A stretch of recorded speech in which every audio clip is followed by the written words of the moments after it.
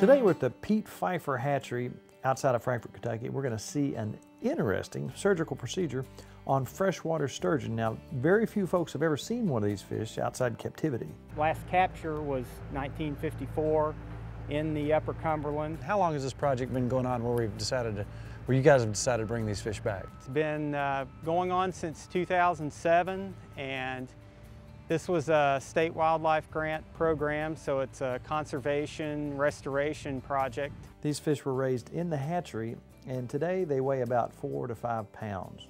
How long will it take this fish to get to be, you know, a 60, 70 pound fish, which they're fully capable of? Probably 10 to 15 years, um, you know, assuming they have, you know, good growth. These fish are big enough to where you can put a transmitter in them.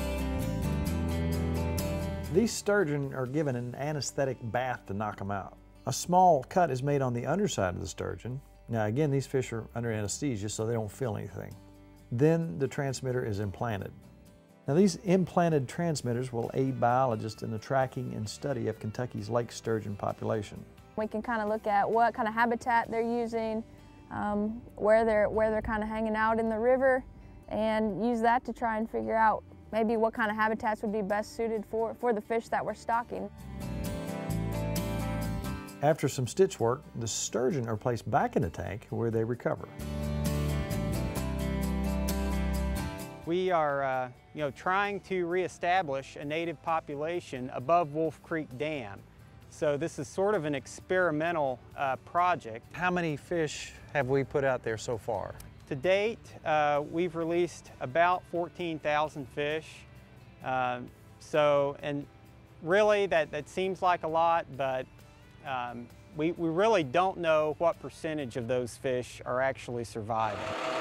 Um, two weeks ago, we let them sit in that, recover in the hatchery for about two weeks, and today we're stocking 15 down here at the Big South Fork, and then another 15 over at the mouth of the Laurel River.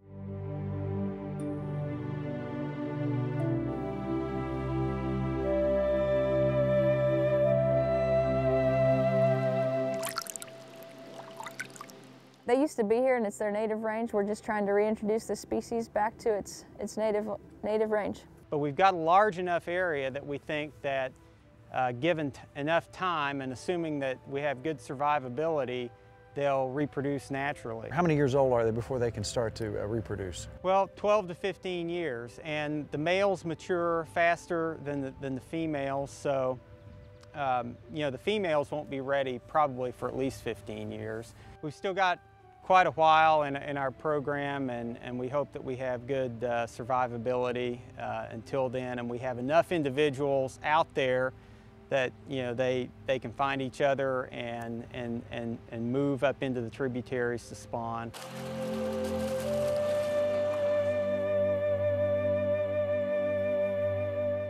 We've had reports of, I think, almost 10, 10 lake sturgeon caught already this spring. Including this one caught by Larry Heck below Wolf Creek Dam and his wife Amanda writes, it was the first sturgeon for Larry. We thought it was very, very cool. Now, he thought it was about 20 inches long and released it, which is exactly what you should do if you catch one. Because our, our goal is to have these fish survive and you know, we, we want them to uh, make it to reproductive age and ultimately that's our measure of success, that, that we document natural reproduction. So we want as many of these fish to survive as possible. So yeah, we please ask that, that if you were to catch one of these, uh, to release them unharmed.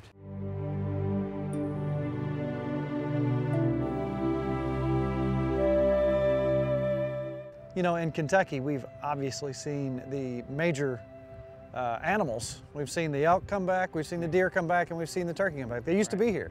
Right. These guys used to be here, and sometimes the fisheries, we don't quite, you know, they're not as big and as visible. Now you can't beat We're putting the native fish back into the native waters.